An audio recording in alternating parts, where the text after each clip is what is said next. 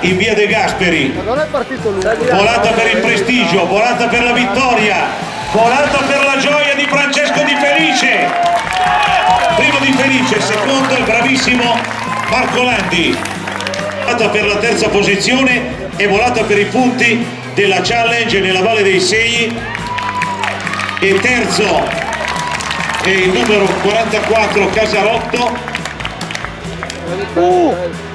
Quarta posizione per Stojnic, quinta posizione per il numero 115 Abenante, sesta posizione per il numero 40 Luca Rastelli che ricordiamo secondo in un mondiale da junior, altri corridori nel frattempo hanno tagliato il traguardo, anche il numero 61 Andrea Colnaghi, sopraggiunge pure il numero 116, pertanto Casarotto in terza posizione, gioisce notevolmente la General Store, primo Di Felice, secondo Landi, terzo Casarotto.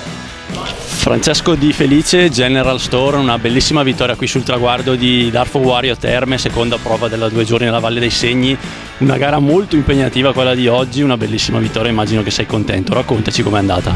Sì, sono molto contento anche perché ieri ho fatto sesto e non sono riuscito ad agganciarmi ai primi con Bagioli. Oggi ci tenevo anche se era dura, il finale c'era una salita di 8 km abbastanza dura, niente. Uh, nel finale diciamo, io e Landi siamo, siamo, usciti, siamo rientrati sul gruppetto di più o meno 20 corridori dove avevo Rigatti, Tosin e Panarotto. E da lì loro hanno fatto un lavoro fantastico, hanno tirato tutta la salita e abbiamo mantenuto quel vantaggio che avevamo, niente, siamo rimasti in cima io, Landi e Covi, in discesa siamo andati via Landi e ce la siamo giocati in volata, direi gara perfetta. Per la tipologia di percorso questa è una gara molto importante, una bella vittoria. Eh, siamo a metà stagione, oltre la metà di stagione, il tuo bilancio qual è finora? Sì, eh, ripeto, percorso duro quindi vuol dire che la gamba c'è.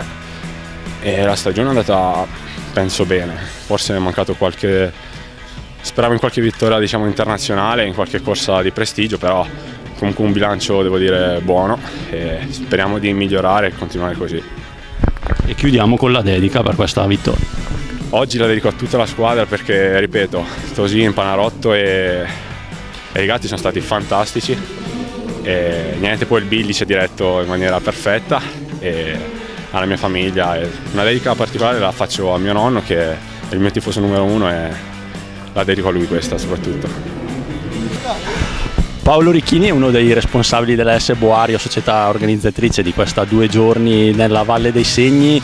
Era un'edizione zero possiamo dire, direi che come prima edizione sia andata molto bene, soprattutto dal punto di vista tecnico che è quello che la riguarda più da vicino.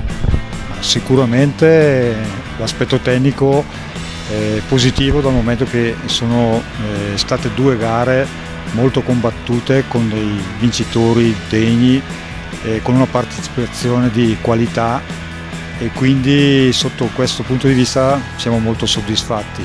Chiaramente eh, la proposta di organizzare queste due gare è avvenuta in, una, in un calendario che chiaramente era, era già intasato, abbiamo dovuto collocarla in una data dove bisognava conciliare anche con, eh, con le gare classiche che venivano organizzate per questa categoria direi che eh, soprattutto la seconda gara molto più tecnica è uscita molto bene con, con, con, un vincitore che ha meritato sicuramente di, di, di vincere poi anche la, la classifica finale.